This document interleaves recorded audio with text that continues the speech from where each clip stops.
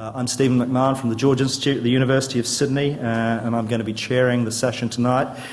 Um, the topic tonight is obesity. Is the food industry more part of the problem than part of the solution?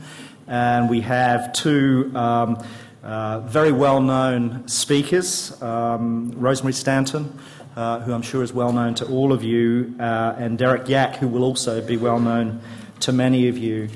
Each of the speakers is going to speak for about 20 or 25 minutes, um, and then when we've had both presentations, uh, we can open the, uh, the discussion up uh, for comments and questions.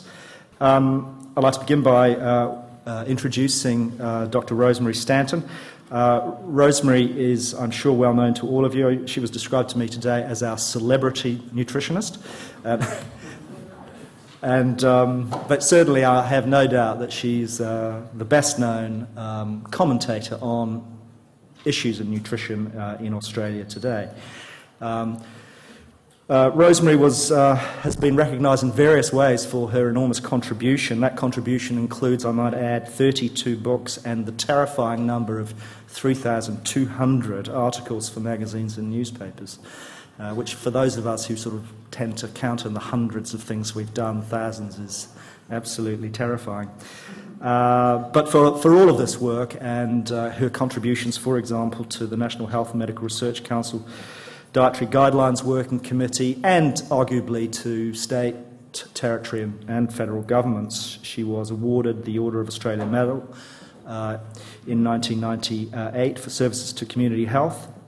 And then in 2000, she received an honorary doctorate also for her uh, contribution to uh, nutrition in Australia, which again I think arguably is second to none. Um, uh, main aim is to change Australians' poor eating habits uh, so that people have healthier diets, eat more enjoyable foods which create minimal environmental change. Uh, and to this end, she maintains equal interests in the twin areas of food and nutrition. So, with that, I'd like to, to uh, welcome Rosemary. Thank you. Well, thank you very much for the warm welcome. It's nice to still be welcomed, even if you're an ex celebrity. Ex, by the way, because it was decided that it was too much for the good citizens of Australia to see me on television because I was so old. Um, I won't go into the other details of why I was dismissed, but they were largely to do with, with age and the fact I was female. I had a few wrinkles, to say nothing of grey hair. Um, but I, am happy to talk about this topic tonight, and you, there's no surprises in the side of the argument that I'm likely to take. But I will start by acknowledging that obesity is obviously a multifactorial problem. There's no simple solution, no magic bullet. And I'd also, of course, like to make it clear that uh, low levels of physical activity are a big factor.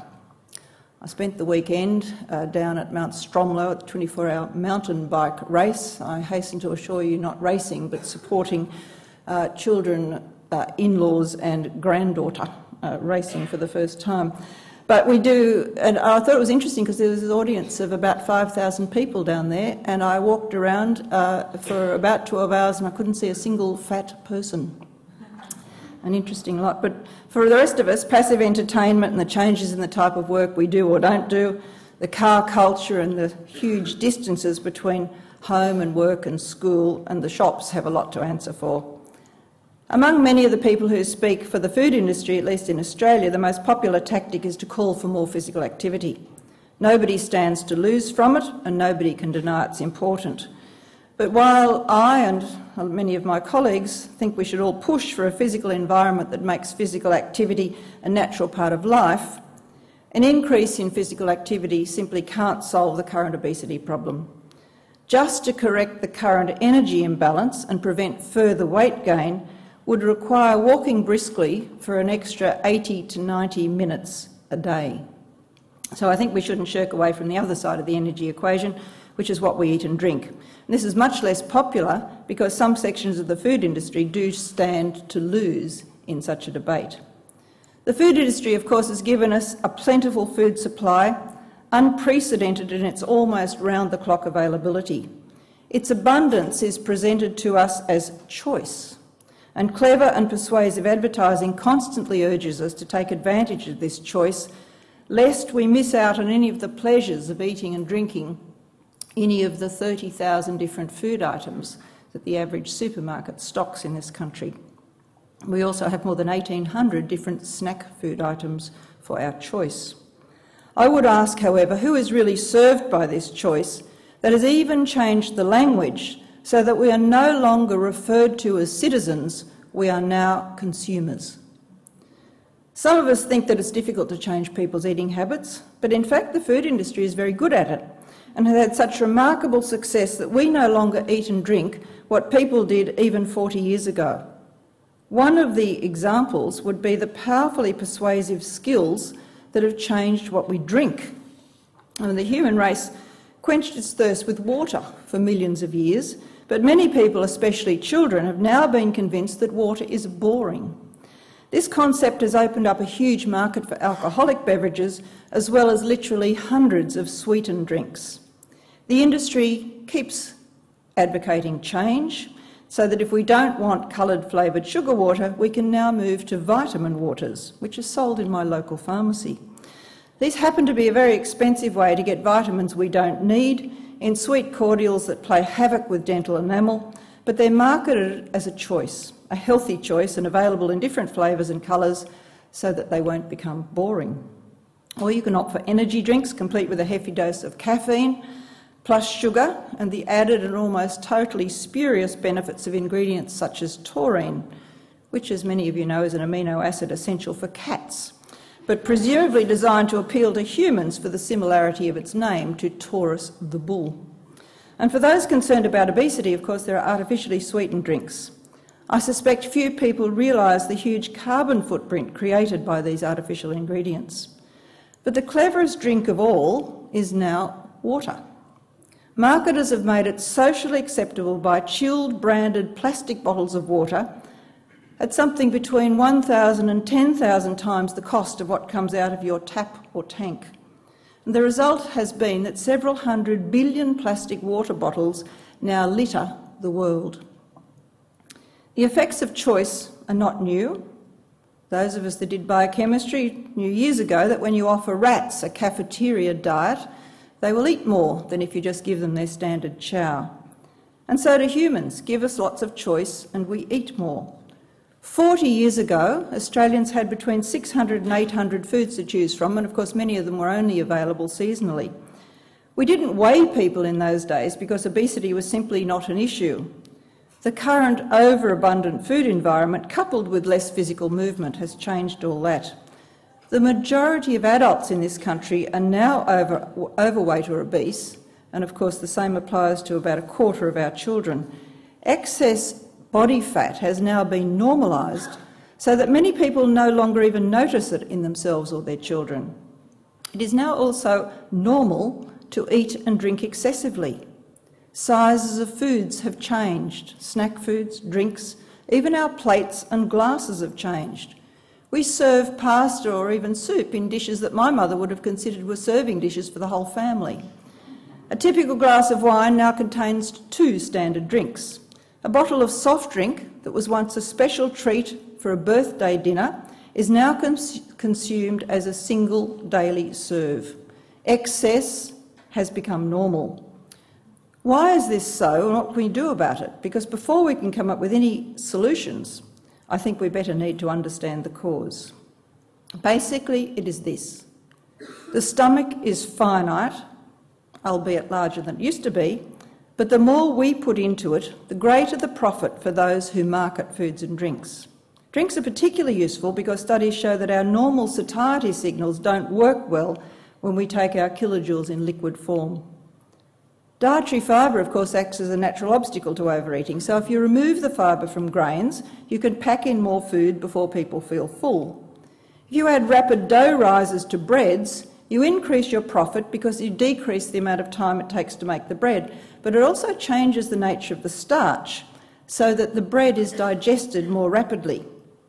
Fast foods, of course, use bread rolls that are so soft that they almost dissolve between your tongue and the roof of your mouth. And the fact that you don't have to chew them means that you can actually eat more before you register that you're full.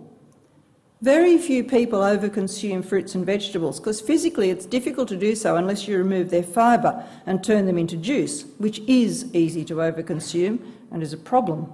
Government messages about healthy eating are drowned when the total amount spent on health promotion in Australia, including the campaigns to eat more fruit and vegetables, is less than a single company spends advertising just one soft drink. There's no real mystery about obesity. Over the 10 year period when obesity and overweight increased dramatically in Australian children, their kilojoule intake went up by 13%. Physical inactivity was already firmly in place at this time, but consumption patterns changed, and over that 10 year period, intake of fruits and vegetables, except for juice and chips, decreased, and there was no increase in any staple foods, things like milk, for example, didn't change. Instead, we had consumption of carbonated drinks, fast foods, biscuits, snacks, confectionery, and various sugary foods all increased.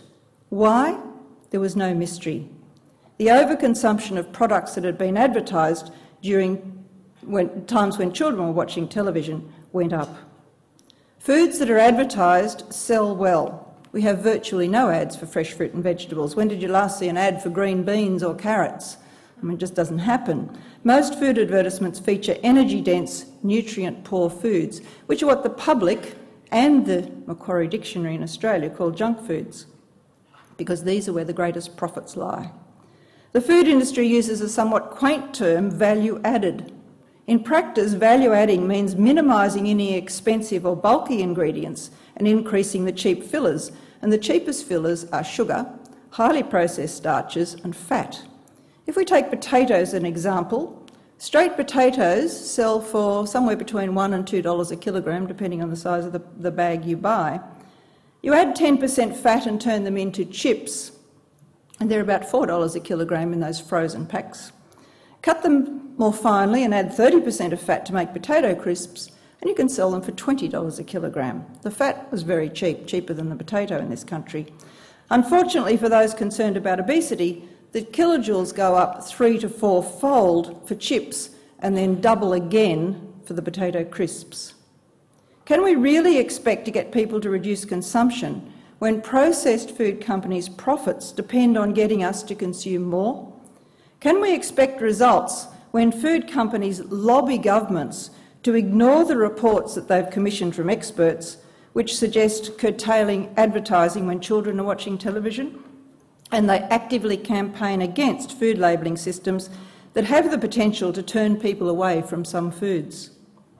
Is there really any possibility of a win win solution to tackle obesity without impinging on food industry profits? The food industry says it wants to be part of the solution, and I have no doubt that there are sections of the food industry with whom we can work. I do. Some companies are prepared to make genuinely beneficial changes, and we can definitely work with those selling fresh foods who really need our help. What about individual choice? I doubt anyone would argue against the need for individuals to make healthier choices, but we need to make it easy for that to happen. Our current systems make it difficult for the individual, and so we have to change the factors within both the physical and food environments that have made the less healthy choices the cheapest, the easiest, and the norm. Some sections of the food industry, aided by the politicians they support, take the attitude that if you're fat, you should develop a bit of character and smarten yourself up, go to the gym, go on a diet.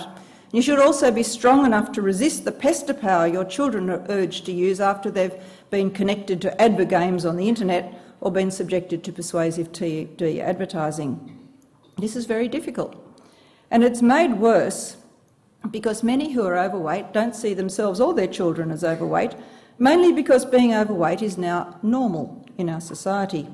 Of those who do realise they're too fat, I have yet to meet a single one who consciously decided to eat more and exercise less so that they would grow fatter and increase their risk of health problems.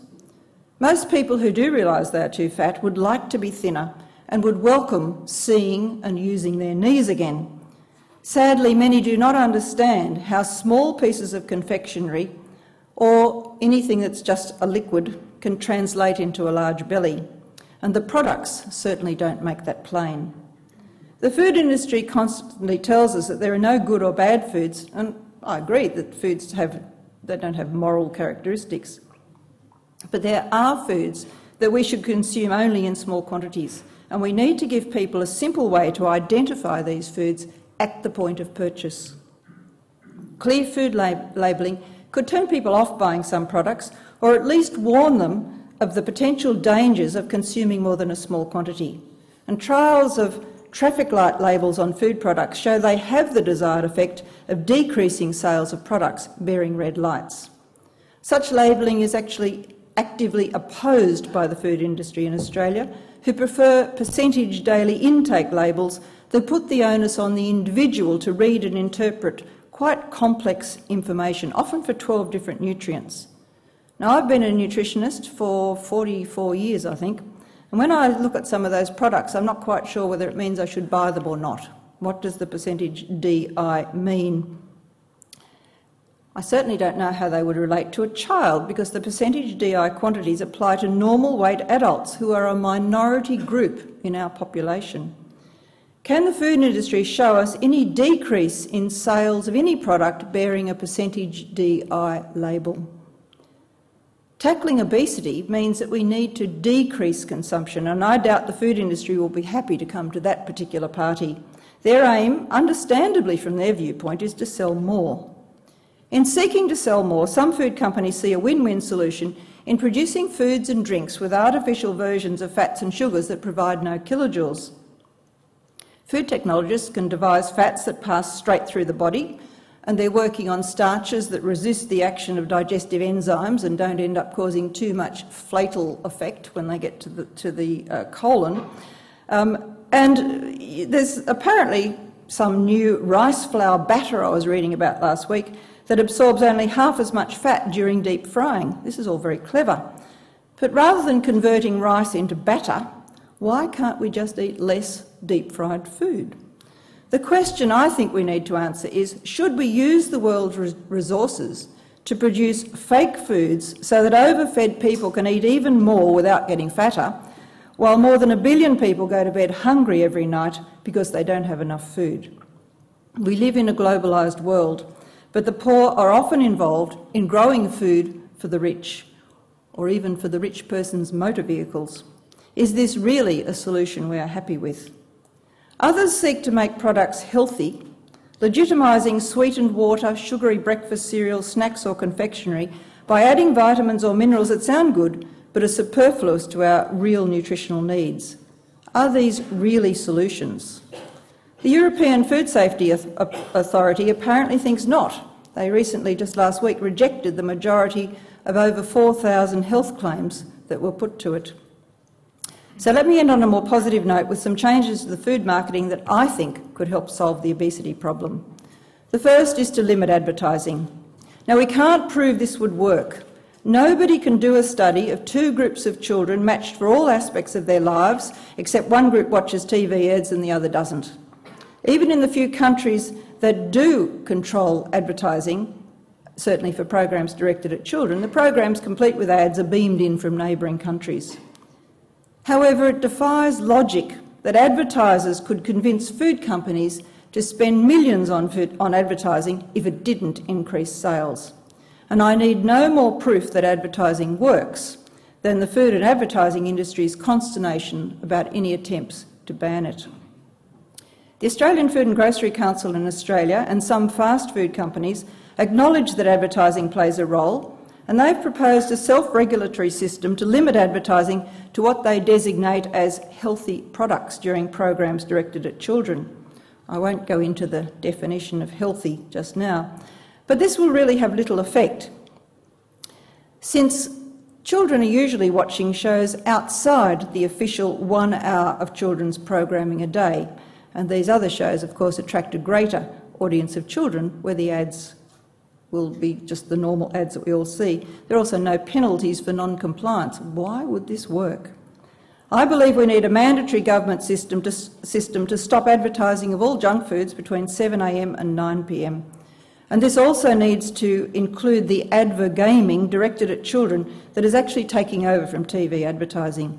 This insidious method has children being assailed by advertisements and product placement throughout computer programs and computer games that they may play for 30 to 60 minutes, so they're constantly bombarded with these images. They may even have to buy the product to enter the game. My second suggestion is that we make some version of traffic light labelling compulsory on all processed foods. Australian studies show that shoppers from all social and education levels find it easier to make healthier choices with red, green, and yellow indications of saturated fat and sugar and salt. My third suggestion is that we encourage the move to growing vegetables. Studies show that children with access to home or community gardens, or people rather with access to community gardens, the children with access uh, to a school kitchen garden eat more vegetables. The interest is actually there. Sales of vegetable seeds are soaring in Australia, and there are long waiting lists for the opportunity to participate in community gardens. And these gardens, of course, have va valuable social as well as nutritional benefits, and there are some wonderful ones, uh, certainly down around the Wollongong area, where some of the people from Timor and other countries who couldn't get the sorts of herbs they wanted have set up community gardens, and they are now part of the community. They are feted by the community, and everyone else wants to come and uh, buy their herbs, which seems to me a terrific sort of thing to do. The fourth thing, which is related, is that I think we need to teach everybody to cook, preferably starting in infant school but with government subsidised classes for adults. This can be done in conjunction with school kitchen gardens as they expand throughout the country and would be a boon to those sections of the food industry that are involved in primary production, because we must differentiate, I think, between different sections of the food industry. My fifth suggestion is one for the processed food industry, and that is that they reduce portion sizes. We had big headlines that uh, one of the companies marketing confectionery was going to reduce their portion sizes. It never happened. When I asked them why, they said, oh, we decided it wasn't commercially viable. They got the headlines and the kudos for people thinking they were going to do it, but they didn't do it. We need it done. And while it won't help the obesity issue, I certainly applaud the current move by some companies to reduce salt levels and switch to healthier fats. But could we also have a reduction in the sugar content in breakfast cereals, please? My sixth and final point is that I think we need to take climate change seriously and support moves to incorporate a carbon and possibly a water footprint on all foods.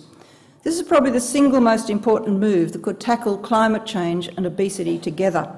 So I propose that the government tax junk foods and drinks based on their products' carbon and water footprint. Figures for this will be available by mid next year, and it would take us that long to get around to doing it anyway. Funds from this tax should be used to subsidise purchases of fresh fruit and vegetables, especially for those in remote areas. Now, governments don't like hypothecated taxes, but I think we basically need them. We know that changing tax rates sufficiently can change consumption. It works with cigarettes. It also worked when the Northern Territory introduced extra taxes on full strength beer and reduced the taxes on light beer. This was in the late 1990s. Consumption patterns changed quite dramatically, as did accidents, domestic violence, and some of the health problems associated with alcohol. When the alcohol industry opposed the taxes and they were removed, consumption and the associated social and health problems reverted to their previous levels. Some of these suggestions will be criticised, and I'll be told this is a utopia that I live in. You're allowed to live there when you're as old as I am. And clearly, they will not suit those who basically want to sell more of their products. But if we take note of the vast body of evidence showing the increased personal and societal costs of obesity, we can no longer be content to do nothing. No single action will fix the obesity problem, but the lack of a silver bullet doesn't mean we shouldn't take action. Only attention to multiple factors can solve the problem. And I believe that government action is the key to most solutions. Perhaps the best way for the processed food industry to be part of the obesity solution is to let government act for the public good. Governments intervene in road safety with speed limits, compulsory seat belts and bicycle helmets. Governments, government intervention dramatically cut cigarette use when education did very little. Why do we have so much difficulty accepting that governments should intervene in the obesity crisis? And why do governments have so much difficulty doing what their expert committees always recommend? I suggest that it is intense lobbying from the affected industries that stops action actually happening. But government coffers are going to have to pay for the results of overconsumption, so I think it is time government acted. Thank you.